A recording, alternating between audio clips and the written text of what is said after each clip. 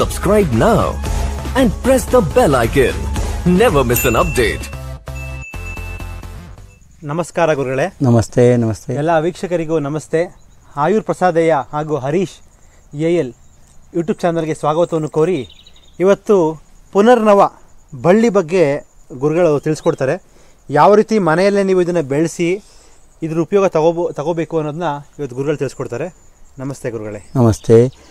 ಈಗ ನಾವು ಬಳ್ಳಾರಿ ಜಿಲ್ಲೆ ಹರಪನಹಳ್ಳಿ ತಾಲೂಕು ಕಲ್ಮಜ್ಜೇಗೇರಿ ಗ್ರಾಮದ ಒಂದು ದೇವಸ್ಥಾನದ ಪಕ್ಕ ಇರತಕ್ಕಂಥ ಬಾವಿ ಒಳಗಡೆ ಇದ್ದೇವೆ ಹತ್ತಿರಕ್ಕೆ. ಇದು ಪುನರ್ನವ ಅಂತ ಹೇಳಿದಕ್ಕೆ ಈ ಪುನರ್ನವ ಅಂದರೆ ಸಂಸ್ಕೃತದಲ್ಲಿ ಮರುಜೀವ ಅಂತ ಹೇಳಿ. ನವ ಅಂದರೆ ಹೊಸ, ಪುನರ್ ಅಂದರೆ ಹೊಸ ಜೀವನವನ್ನು ಮಾಡುವಂಥದ್ದು ಅನ್ನೋದಕ್ಕೆ ಪುನರ್ನವ ಅಂತೀವಿ. ಏನು ಹಾಗಂದರೆ ಇದರಲ್ಲಿ ಎರಡು ವಿಧಗಳು. ಸಾಮಾನ್ಯವಾಗಿ ಬಿಳಿ ಪುನರ್ನವ ಮತ್ತು ಕೆಂಪು ಪುನರ್ನವ ನಿನ್ನೆ ದಿವಸ ನಮ್ಮ ಗೋಣಿಬಸಪ್ಪ ಅನ್ನೋರ ಎಪಿಸೋಡ್ನಲ್ಲಿ ಕೂಡ ನೀವು ಬಿಳಿ ಪುನರ್ನವ ತೋರಿಸಿದ್ರು ಅವರು. ಇದು ಕೆಂಪು ಪುನರ್ನವ ಇದು ಏನಂತಂದರೆ ಈ ಬಳ್ಳಿ ವೈಶಿಷ್ಟ್ಯ ಹೇಳ್ಬಿಡ್ತೀನಿ ಮೊದಲು. ಇದು ಎಲ್ಲಿ ಬೇಕಲ್ಲೇ ಬೆಳೆಯುವಂಥದ್ದು. ಆದರೆ ಇದು ಎಷ್ಟು ಬೇಕಷ್ಟು ಒಳ್ಳೆಯ ಸಮೃದ್ಧಿಯಾದ ಜಾಗ ಸಿಕ್ಕಾಗ ಸುಮಾರು ನಾಲ್ಕೆಂಟು ಅಡಿವರೆಗೆ ದೂರವರೆಗೆ ಬರ್ತದೆ ಇದು, ಬೆಳೆ. ಬೆಳೆ. ಆದರೆ ಬೆಳೆ ಬರ್ತಾ ಬರ್ತಾ ಏನಾಗ್ತದೆ ಉದ್ದ ಬೆಳೆದು ಪೂರ ಒಣಗಿಬಿಡ್ತೈತಿ. ಎಲ್ಲಿಂದ? ತುದಿಯಿಂದ ಅಂತ ಬರ್ತೈತಿ. ತುದಿಯಿಂದ ಒಣಕೆ ಬಂದು ಇನ್ನೇನು ಕಿತ್ತು ಹಾಕ್ಬೇಕಪ್ಪ, ಒಣಗೈತೆ ಅಂದಾಗ ಇದು ಮತ್ತೆ ಇದರ ಎರಡರಷ್ಟು ಬೆಳಿತೈತಿ. ಪುನರ್ನವ ಈಗ ಇದನ್ನು ಔಷಧಿಯನ್ನು ಪುನರ್ನವಾಸವ ಅಂತ ಬರ್ತದೆ. ಪುನರ್ನವ ಅರಿಷ್ಟ ಅಂತ ಬರ್ತದೆ. ಪುನರ್ನವ ಲೇಹ ಅಂತ ಬರ್ತದೆ. ಯಾರಿಗೆ ತುಂಬ ನಿಶಕ್ತಿ ಆಗಿರ್ತದೆ ನನ್ನಂತರ ಅಂತೇಳಿ ನನ್ನ ನಾನೇನು ನಿಶಕ್ತಿ ಆಗಿಲ್ಲ. ಆದರೆ ನನ್ನ ವಯಸ್ಸಿರೋರು ನಿಶಕ್ತಿ ಆಗಿರೋರಿಗೆ ಪುನರ್ನವಾಸವ ಪುನರ್ನವ ಲೇಹ ಪುನರ್ನವ ಆಯಿಲ್ ತೈಲ ಪುನರ್ನವ ತೈಲ. ಸುಮ್ಮನೆ ನೀವು ಹಚ್ಕೊಂತ ಹೋದರೆ ಅಥವಾ ಪುನರ್ನವಾಸವ ನೀವು ತಗೊಂತ ಹೋದರೆ ಹೀಗಿರ್ತಕ್ಕಂಥ ಮನುಷ್ಯ ಸ್ಕೆಲೆಟನ್ ಆದಂಗೆ ಅಕ್ಕನ ತೆಳ್ಳಗಾಗ್ಬಿಡ್ತಾನೆ ಅಯ್ಯೋ ಇವನೇನು ಸಾಯ್ತಾನೆ ಬಿಡು ತಗೊಂಡೋಗಿ ಎತ್ತಿ ಹೊರಗೆ ಹಾಕಕ್ಕೆ ಅನ್ನೋದ್ರಾಗ ಮತ್ತೆ ಚಿಗುರಿಕೆ ಅಂತಾನೆ. ಎಷ್ಟು ನವತವ ನವಚೈತನ್ಯ ಬರ್ತೈತೆ ನವತಾರುಣ್ಯ ಬರ್ತೈತೆ. ಇದು ಪುನರ್ನವ. ಇವತ್ತು ಪುನರ್ನವ ಕೇಳೋರು ತುಂಬ ಕಡಿಮೆನೇ ಅಂತಂದರೆ ಅದು ಇದ್ರ ಬಗ್ಗೆ ಮಾಹಿತಿ ಇಲ್ಲ. ಯಾರು ನಿಶಕ್ತಿತನ ಹೊಂದಿರ್ತಾರೋ ಯಾ ಯಾರು ನಾನು ಇನ್ನೇನು ಬದುಕ ಸಾಕು ಅನ್ನೋಂತ ಇರ್ತಾರ ಈ ಪುನರ್ನವ ಆಸವನ್ನು ತಗೊಂಡ್ರೆ ಸಾಕು. ತುಂಬ ಅದ್ಭುತವಾದಂಥ ಶಕ್ತಿ ಸಿಗ್ತದೆ ಇದು. ಇದರಲ್ಲಿ ಎರಡು ವಿಧ ಅಂತ ಹೇಳಿದೆ. ಇದು ಸಾಮಾನ್ಯವಾಗಿ ಎರಡೂ ಕೂಡ ಬೇರೆ ಬೇರೆ ಗುಣಗಳನ್ನು ಹೊಂದಿರ್ತವೆ. ಬಿಳಿ ಪುನರ್ನವಾಸವ ಸಾಧ್ಯವಾದಷ್ಟು ಮಾಡಿ ಗಂಡು ಮಕ್ಕಳಿಗೆ ತುಂಬ ಪವರ್ಫುಲ್ ಆಗಿ ಕೆಲಸ ಮಾಡ್ತದೆ.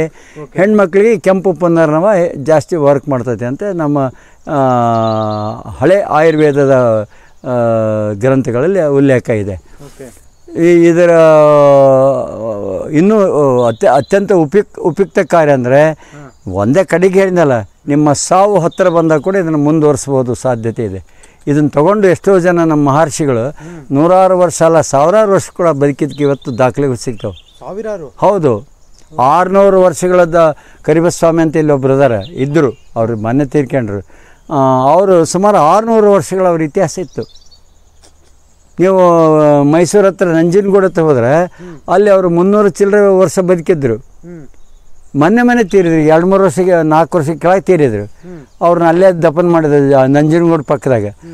ಅವರು ತುಂಬ ತೆಳ್ಳಗ ಇದ್ದರು ಅವ್ರ ಹತ್ರ ದಾಖಲೆಗಳಿದ್ದು ಈಗೂ ನಿಮಗೆ ಸಿಗ್ತಾವೆ ಅಲ್ಲಿಗೆ ಹೋದ್ರೆ ಎರೆಸ್ವಾಮಿಗಳು ಅಂತಂದೇಳಿ.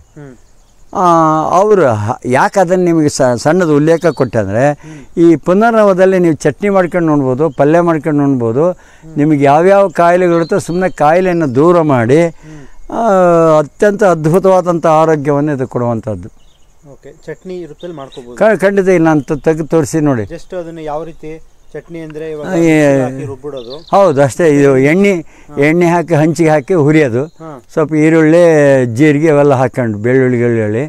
ಆಮೇಲೆ ಒಂದು ಸ್ವಲ್ಪ ಪುಟಾಣಿ ಹಾಕ್ಕೊಂಡು ಇದನ್ನು ಚಟ್ನಿ ಮಾಡ್ಕೊಂಡು ಕೂಡ ತಿನ್ಬೋದು. ಇದು ನೋಡಿ ಮುರಿಯೋಂಥ ಸ್ಥಿತಿಗೆ.